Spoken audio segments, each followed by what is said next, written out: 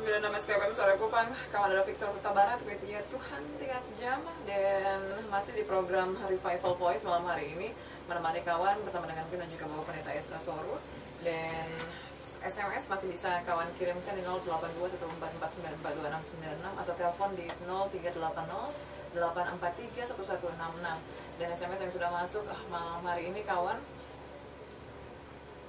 Shalom, selamat malam untuk 109 Selamat malam Bapak, ada sedikit yang kelihatan sepertinya paradoks di mana dikatakan bahwa hukum Taurat diberikan supaya makin banyak pelanggaran dan di sisi lain dikatakan bahwa hukum Taurat diberikan supaya semakin melimpah kasih karunia. Mohon penjelasannya Bapak.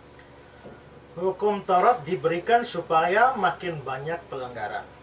Itu saya jelaskan tadi. Ya, dengan banyaknya hukum maka lalu terbukti bahwa manusia ini banyak pelanggarannya, banyak dosanya. Jadi memang hukum Taurat tidak diberikan dengan tujuan kita bisa mentaatinya lalu kita selamat. Tidak. Tuhan hanya mau kasih bukti bagi kita bahwa sebagai orang-orang berdosa kita ini tidak bisa lepas dari yang namanya dosa. Maka kita ini bukan hanya berdosa, banyak sekali dosa kita ya bahkan kita hidup kita seluruhnya adalah berdosa. Nah, tapi itu dibuktikan dari cara dengan apa? Dibuktikan dengan memberikan hukum yang banyak. Begitu ada hukum yang banyak, terbukti bahwa kita ini pelanggar semua hukum. Ya. Nah, tetapi juga ada kata-kata bahwa uh, dengan adanya hukum Taurat maka kasih karunia itu menjadi berlimpah, ya, menjadi berlimpah.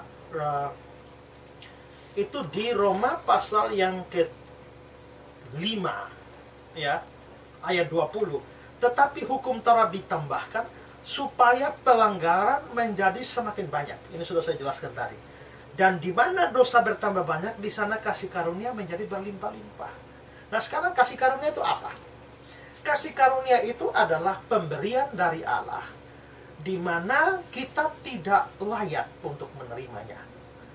Kalau saudara bekerja di rumah saya sebagai pembantu misalnya, lalu saya menggaji saudara misalnya satu juta setiap bulan, maka pada waktu saya memberikan satu juta setiap bulan kepada saudara, itu bukan kasih karunia, itu adalah upah, itu adalah hak saudara, itu adalah hasil kerja keras saudara, bukan hadiah. Tetapi kalau saudara tidak kerja sama saya, saudara tidak berjasa sama saya, tapi karena saya ini dasarnya orang baik, lalu saya akhirnya mau memberi kepada saudara satu juta setiap bulan, itu berarti bahwa saya ini setelah melakukan atau saudara telah menerima kasih karunia yang seharusnya tidak layak, saya tidak punya kewajiban beri dan saudara punya tidak punya hak untuk mendapatkannya. Tapi ternyata dapat. Itu namanya kasih karunia. Ya. Nah, di sini Alkitab kita selalu mengatakan bahwa kita diselamatkan. Ya, itu karena kasih karunia Allah. Artinya adalah bahwa keselamatan kita itu adalah bukan usaha kita. Itu bukan upah bagi kita. Bukan kita berusaha taat bekerja lalu dapat keselamatan. Tidak. Kita kasih karunia keselamatan itu kasih karunia artinya bahwa Allah memberikan itu secara cuma-cuma kepada kita. Gratis Makanya ada istilah sola gracia.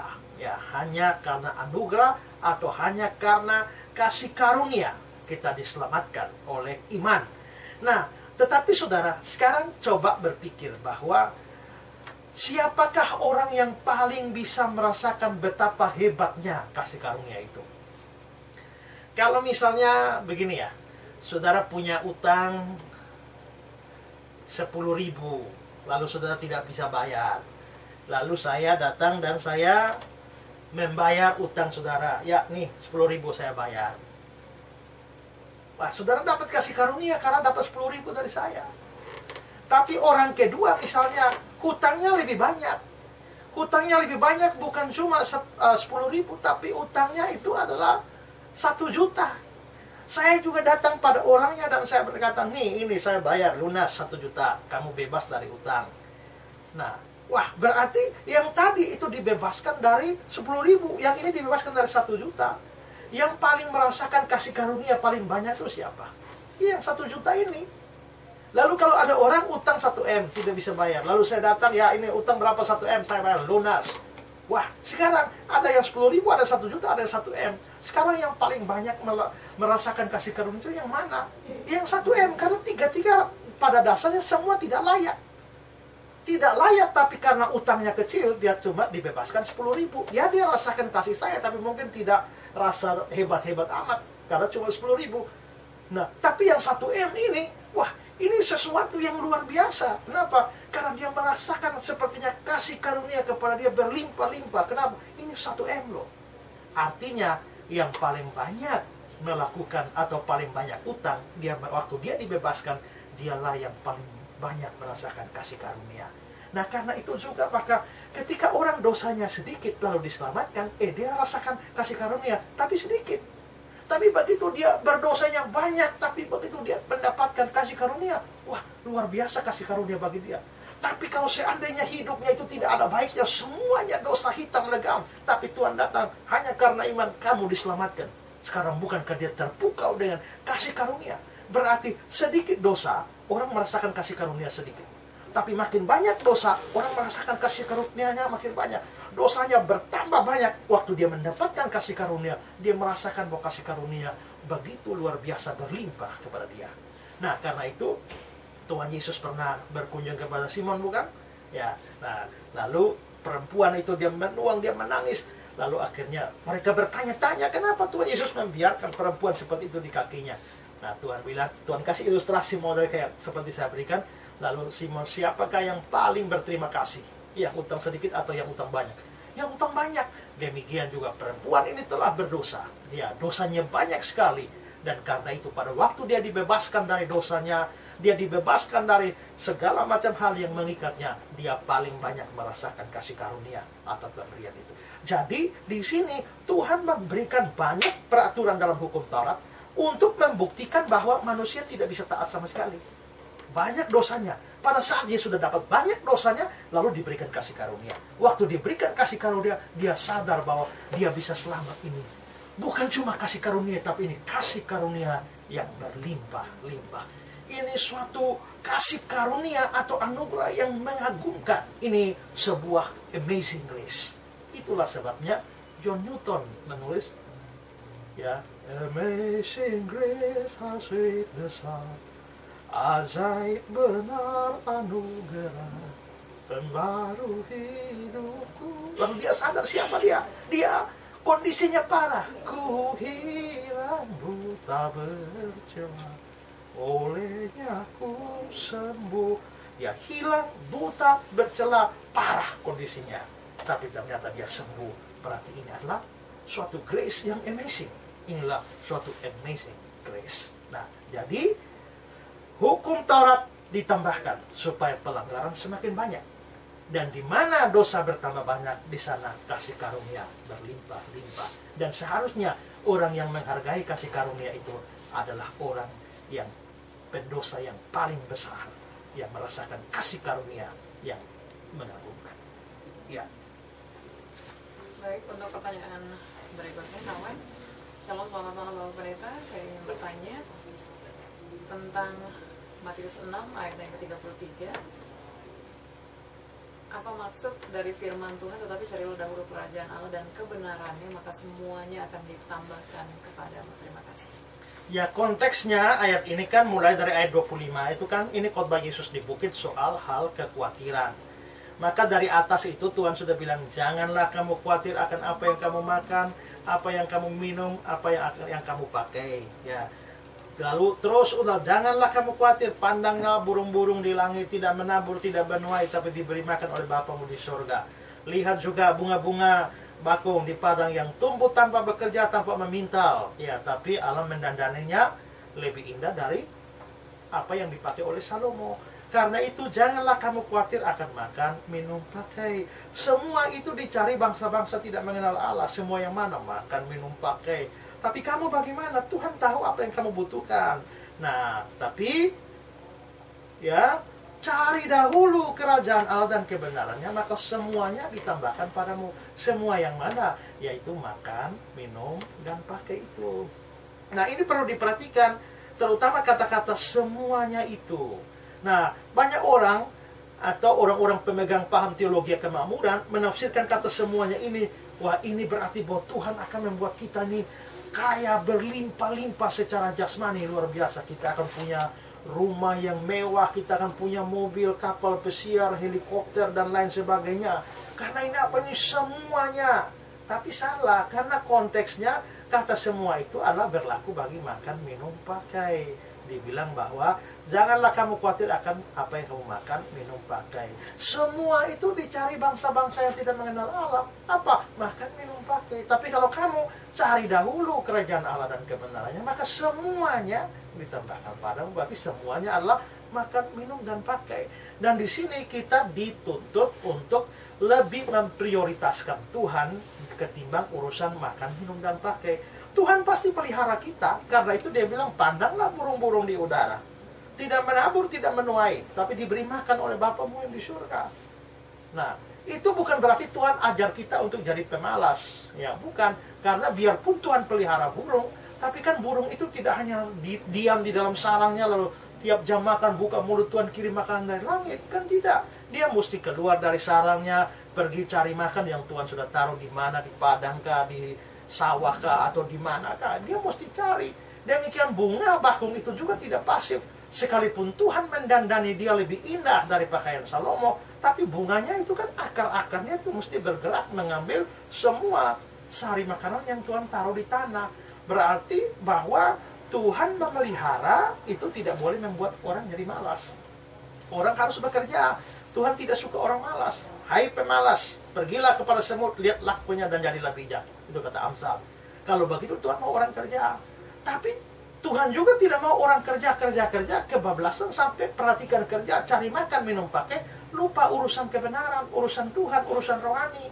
Karena itu dia memberikan warning. Cari dahulu kerajaan Allah. Prioritaskan urusan kerajaan Allah. Jangan lupa kebaktian, jangan lupa baca kitab suci, jangan lupa berdoa, jangan lupa pelayanan. Tapi setelah itu saudara kerja, Tuhan akan memberkati. Semua itu makanan minuman paket dia akan menambahkannya kepada kamu. Asal kamu tahu memprioritaskan. Nah kebanyakan kita ini gara-gara khawatir makan minum pakai atau kepengen kaya lalu kita akhirnya kerja mati-matian. Akhirnya kita lembur terus. Hari Tuhan juga kita sikat terus sampai akhirnya kita tidak lagi punya waktu untuk berdoa, tidak punya waktu untuk baca kitab suci, melayani Tuhan, berbakti. Kenapa? Sibuk bekerja. Bekerja untuk apa? Cari makan, minum, pakai. Itu berarti tidak prioritaskan Tuhan. Maka di sini ayat ini mengajar kita harus bisa memprioritaskan Tuhan dalam urusan makan, minum, pakai kita. Ya. Baik, uh, kita beri dulu sejenak kawan dan masih kawan masih boleh SMS di 082144942696 atau telepon di 0380843111 lắm lắm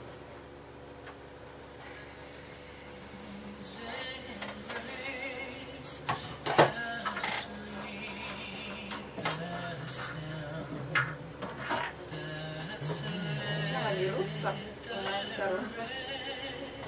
karena ya karena dengar kok karena lo berani masih lo berani semua orang belum tahu kan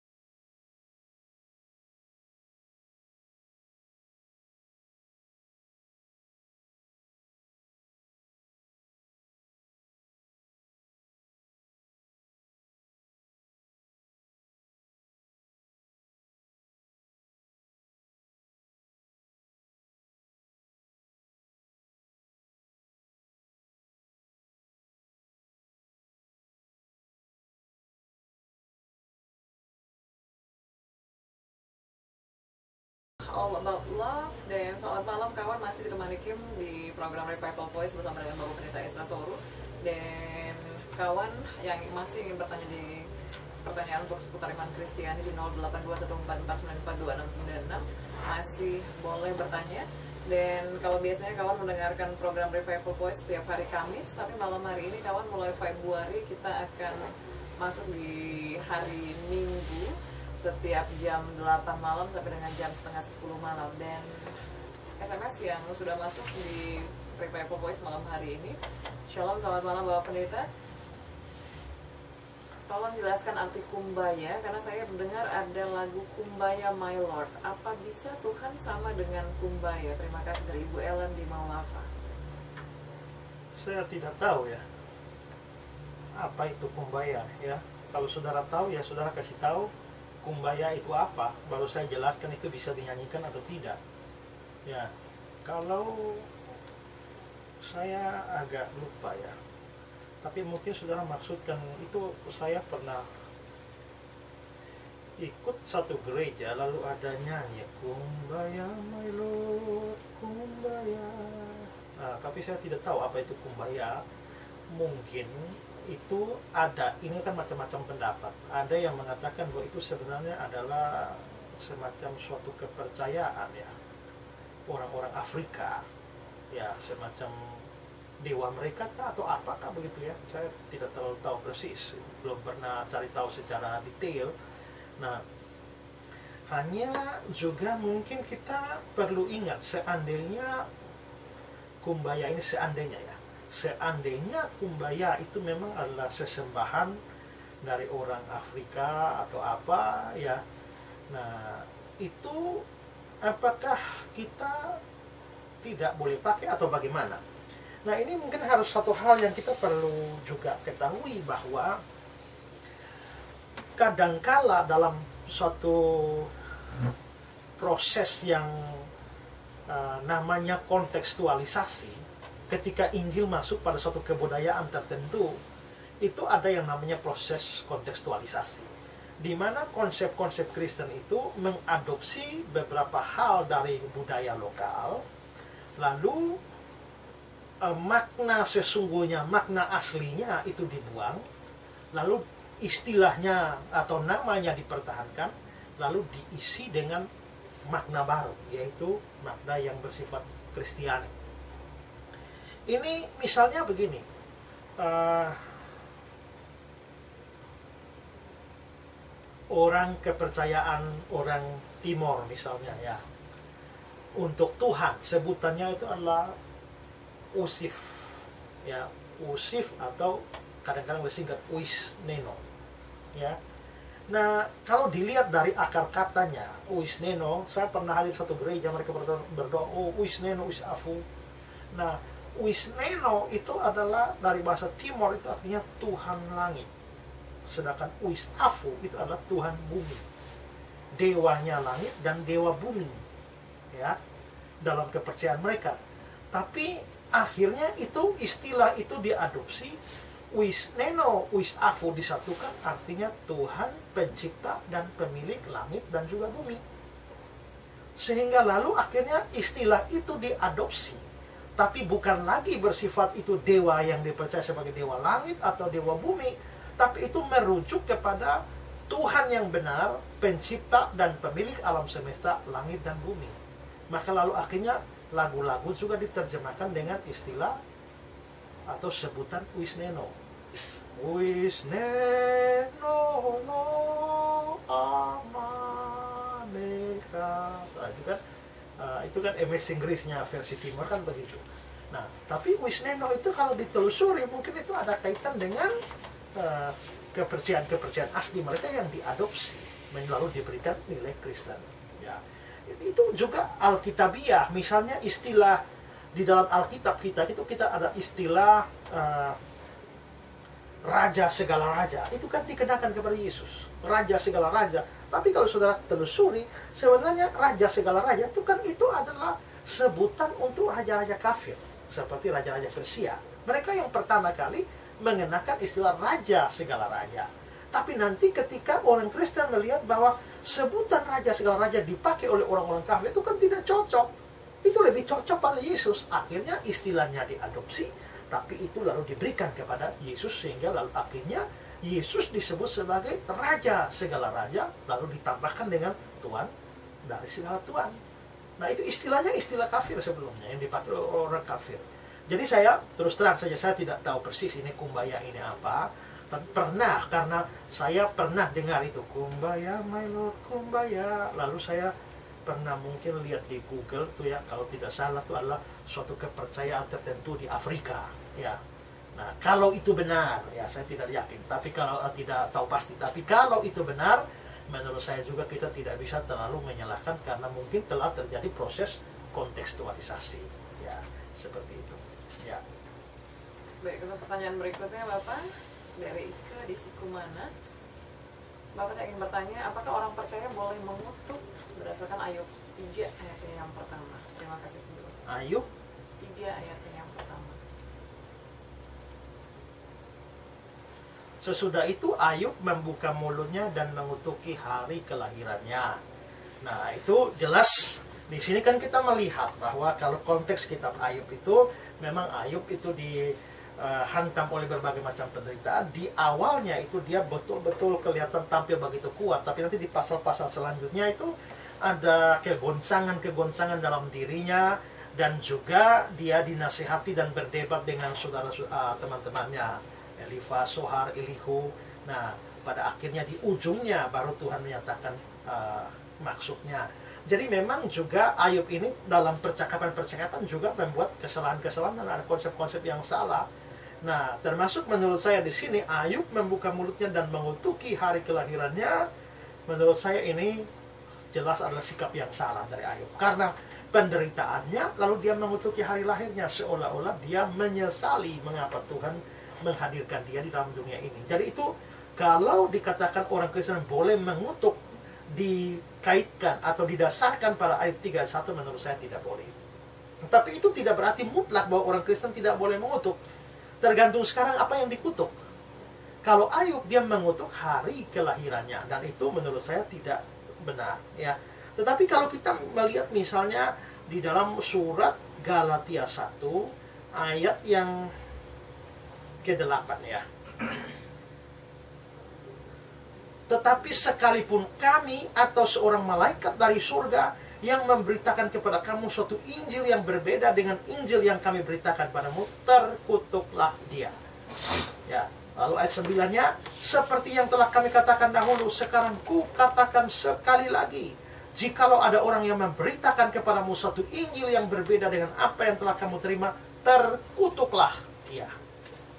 Kalau begitu di sini Paulus jelas mengutuk. Mengutuk siapa? Mengutuk para penyesat, mengutuk para guru palsu, mengutuk orang-orang yang memberitakan Injil yang lain daripada Injil yang sejati.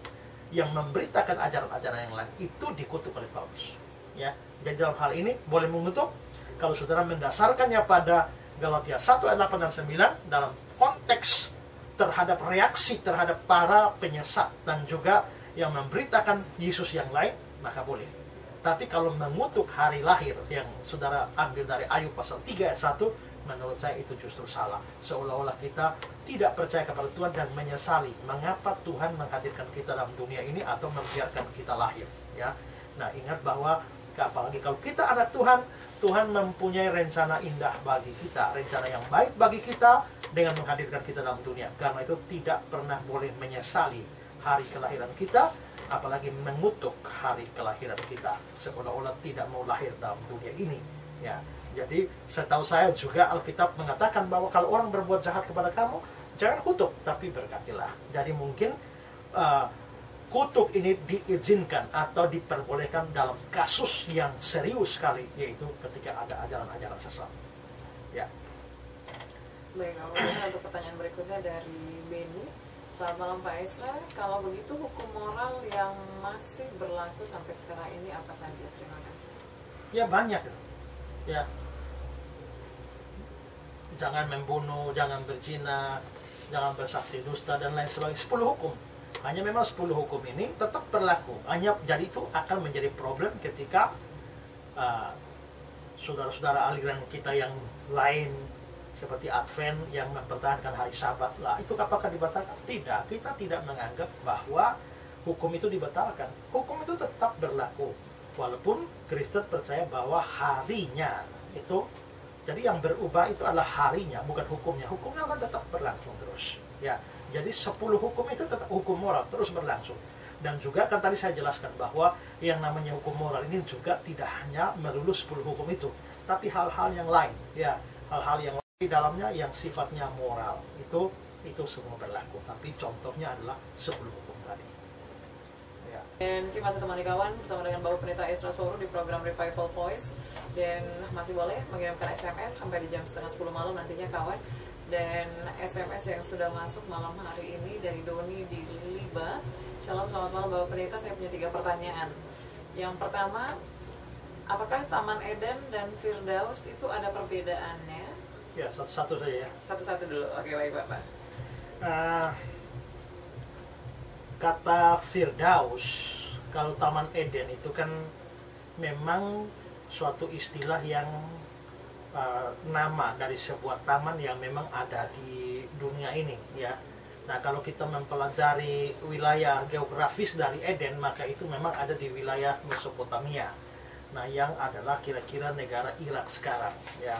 Negara Irak sekarang itu adalah lokasi Taman Eden yang juga kita bisa lihat bahwa Alkitab menyebutnya ada ada sungai yang lalu ada empat cabang Tigris, Efrat, uh, Pison, Gihon.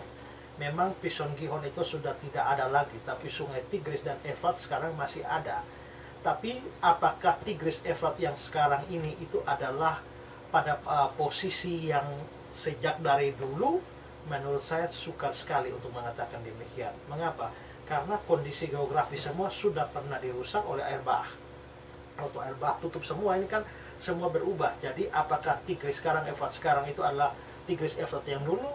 Ya saya kira nyaris uh, tidak ada kemungkinan untuk itu. Itu mungkin bisa saja sudah berubah jauh. Karena itu maka tidak mudah kita untuk Uh, menentukan di mana lokasi Taman Eden yang sesungguhnya. Tapi yang pasti itu adalah suatu taman yang ada di bumi ini, yaitu di negara Irak atau Mesopotamia zaman dulu. Nah, sedangkan Firdaus ini adalah sebenarnya kata Firdaus, paradiso atau paradise itu sebenarnya adalah suatu istilah yang dipakai oleh raja-raja Persia itu juga untuk menuju pada taman mereka ya pada taman mereka. Tapi nanti kita jadi artinya taman itu ya Firdaus itu. Kalau saudara punya taman di belakang bagus ya bisa kasih nama Firdaus. Nah tapi lama-lama kata Firdaus ini kelihatannya diadopsi di dalam iman Kristen lalu itu dikaitkan dengan suatu uh, kondisi atau gambaran dari surga. Itulah sebabnya Yesus bilang hari ini engkau bersama-sama dengan aku di dalam Firdaus. Itu adalah kata-kata Yesus kepada penjahat yang bertobat di samping dia pada waktu disalib. Nah, jelas bahwa di situ Firdaus dipakai dalam pengertian surga. Mengapa kita mengartikannya surga? Karena Tuhan Yesus pada waktu dia mati, itu kan dia bilang, ya Bapak ke dalam tanganmu kuserahkan rohku Nah, waktu itu kan setelah Yesus mati kan tubuhnya dikuburkan di tanah, di uh, gua. Kalau dia tubuhnya dikuburkan di sana, berarti yang pergi kepada Bapa itu adalah rohnya, ya. Rohnya ada dalam tangan Bapa di surga. Pada waktu dia bilang pada penjahat, engkau akan bersama-sama dengan aku dalam Firdaus, nah itu berarti bahwa Firdaus harus diartikan surga. Kalau karena kalau Firdaus bukan surga, berarti Yesus tidak bersama-sama dengan penjahat itu. Tapi kalau karena dia ada di surga, kalau Yesus bersama-sama penjahat itu harus diartikan Firdaus adalah surga. Jadi memang arti dasar dari kata Firdaus itu adalah taman, ya. Tetapi lama-lama itu istilah itu akhirnya lebih dikenal sebagai istilah yang sinonim dengan surga, istilah yang sinonim dengan surga. Nah, tetapi Eden itu jelas hanya menunjuk pada satu taman yang di bumi di Mesopotamia. Nah, kalau Firdaus dikaitkan dengan surga. Baik untuk pertanyaan yang kedua masih dari Doni yang ada di Liliba. Apakah buah yang di taman tersebut buah-buahan sesungguhnya Kalau Taman Eden itu adalah hurufiah, betul-betul ada taman di situ, ya itu berarti bahwa pohon-pohonnya itu harus diartikan juga secara hurufiah bahwa betul-betul ada pohon di sana, ada buah di sana, ya hurufiah juga. Tapi kalau bicara soal Firdaus, nah yang sudah Firdaus bukan lagi bermakna hurufiah tapi bermakna simbolik, maka kalau kitab suci berkata tentang pohon-pohon yang ada di dalam Firdaus, maka pohonnya tidak boleh dihurufiahkan. Itu harus dimengerti dalam makna simbolik. Ingat bahwa satu kata atau setiap kata itu bisa punya makna ganda. Kadang-kadang ada kata-kata yang bermakna hurufiah, kadang-kadang bermakna simbolik, kadang-kadang bermakna kiasan. Ambil contoh saja merpati. Ya, merpati itu waktu Nuh itu mau ngecek air bah sudah turun atau belum itu kan dia melepaskan burung merpati. Merpati yang dilepaskan tuh merpati sungguh-sungguh. Berarti merpati di situ adalah merpati hurufiah. Jangan tafsirkan macam-macam itu merpati di situ. Karena saya pernah ikut kebaktian orang mati lalu saudara-saudara sama seperti merpati ini terbang ke sana kemari menjelang senja. Dipulanglah kembali ke Batra itu dengan membawa sepucuk daun zaitun yang segar hidup kita itu seperti merpati ini. Nah itu ngawur itu. Kenapa? Karena merpati di situ adalah merpati hurufiah. Jangan artikan lain-lain. Nah, tapi pada waktu kita membaca kisah Yesus dibaptis, itu lalu muncul Roh Kudus seperti burung merpati. Di situ merpati bermakna simbolik. Tidak bisa diartikan bahwa itu hurufiah. Berarti Roh Kudus itu adalah burung merpati. Nah, kalau kita merpatinya mati, Roh Kudusnya mati ya kita makan daging merpati saya makan daging roh kudus. Tidak. Kenapa? Karena itu bermakna simbolik. Tapi kalau ada ayat Tuhan Yesus bilang hendaklah kamu tulus seperti ular cerdik seperti merpati maka merpati di situ sudah bermakna kiasan. Kiasan dari ketulusan ya ketulusan jadi itu ada maknanya beda-beda nah kalau kita bicara Taman Eden itu sudah jelaskan Taman Eden itu kan taman yang hurufiah yang ada di Mesopotamia berarti pohon dan buahnya juga itu adalah harus hurufiah Nah, tapi kalau kita bicara Firdaus yang sudah bermakna simbolik, yaitu simbol dari surga, maka kalau nanti kita suci berkata soal pohon-pohon dan buah-buah di dalam taman Firdaus Allah, itu sudah tidak bermakna hurufiah lagi, tapi bermakna simbolik. Ya. Baik, untuk pertanyaan terakhir dari Doni, apakah dengan memakan lagi buah pohon kehidupan akan hidup selamanya? Dari kejadian tiga yang ke-22? Terima kasih. Kalau manusia memakan buah pohon pengetahuan itu pada saat itu ya mereka akan hidup kekal. Menurut kejadian pasal 3 ayat 22 itu ya. Tapi masalahnya kan sekarang sudah tidak ada. Nah saudara mau cari itu di mana? Karena itu mau hidup kekal tak usah repot-repot pergi ke Mesopotamia lalu selidiki pohon apa itu lalu tanam lalu kita makan itu cari yang mudah sajalah yang mudah itu adalah beriman kepada Yesus maka kita akan hidup kekal ya Baik, untuk pertanyaan berikutnya dari Andi di Oemba. Shalom selamat malam Bapak. Saya mau bertanya apa maksud dari ayat Lukas 16 ayatnya yang ke-17. Lukas 16, 17 Lebih mudah langit dan bumi lenyap daripada satu titik dari hukum Taurat itu batal. Nah, tadi kan saya jelaskan ya bahwa hukum Taurat itu batal. Efesus 2, 15. Nah sekarang itu berarti yang mana yang batal, yang mana tidak batal. Tadi saya jelaskan ada tiga hukum, yaitu hukum moral, hukum seremonial, dan hukum sipil. Kalau hukum sipil tak usah dipusingkan, karena itu memang bukan undang-undang kita, itu undang-undang Israel. Misalnya ada nabi palsu harus dibunuh mati. Nah kalau sekarang saudara tahu ada nabi palsu, terus saudara bunuh mati, saudara masuk penjara. Kenapa? Karena itu hukum Indonesia tidak begitu. Jadi hukum sipil ada orang berzina, rajam dengan batu sampai mati. Nah kalau saudara lihat ada orang berzina lalu angkat batu lempar sampai mati, saudara yang akan susah. Karena itu hukum Israel, bukan hukum kita. Nah, kalau hukum seremonial memang harus berakhir. Karena hukum itu tidak pernah dimaksudkan untuk berlaku selama-lamanya. Itu hanya bayangan, Ibrani 10 ayat 1. Nah, tapi hukum moral itu harus terus berlangsung. Hukum moral ini tidak pernah batal. Hukum moral ini harus terjadi Nah, dan itu pasti. Sekarang saudara, di sini ada kata-kata yaitu langit dan bumi lenyap. Sekarang saudara bisa lenyapkan langit? Mustahil dong. Bisa lenyapkan bumi? Mustahil dong. Seandainya saudara bisa, itu masih lebih mudah daripada membatalkan hukum. Taurat, yaitu firman Tuhan. Artinya ayat ini menekankan bahwa apa yang Tuhan firmankan itu pasti terjadi. Ya. Maka tidak mungkin batal. Lebih mudah bikin ini langit dan bumi ini hilang daripada menghilangkan firman Tuhan itu. Ya.